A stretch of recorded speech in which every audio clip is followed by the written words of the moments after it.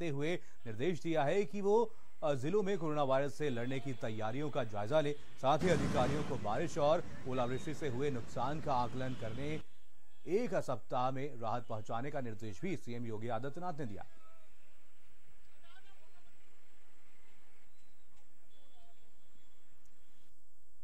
नहीं हम लोगों को निर्देश मिला है कि अपने प्रभार क्षेत्र में मुख्यमंत्री जी ने पूरी व्यवस्था अस्पतालों में की है। अलग से व्यवस्था की है, बेड की व्यवस्था की है और उसको हमको जाकर के निरीक्षण करना है, देखना है कि कहीं अगर ऐसा स्थिति मिलती है तो उसमें क्या तत्काल उपचार करने की मेरे अस्पतालों में व्यवस्था है?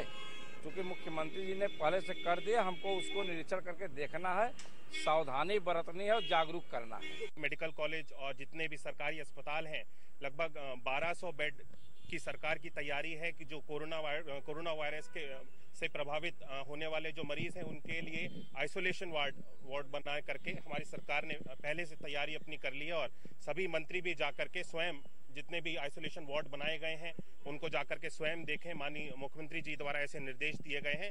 राज्य के साथ सीएम की जो बैठक थी, वो बैठक समाप्त हो चुकी है। मुख्यमंत्री साफ़ तौर पे निर्देश दिया है कि कोरोना वायरस से पीड़ित लोगों को की जो निगरानी की जाए, उनको पर्याप्त इलाज दिया जाए।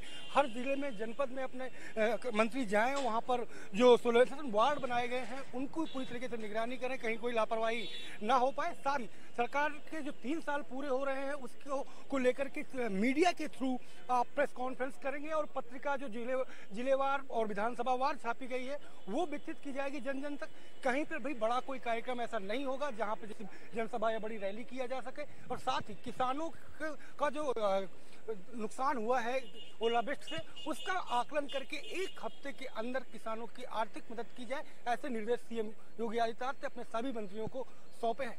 कैमरा पर्सन अरसद के साथ संजय सिंह चौहान, भारत समाचार, लखनऊ। और आइए अब आपको दिखाते हैं कोरोना से जुड़े हुए कुछ सवाल और उनके जवाब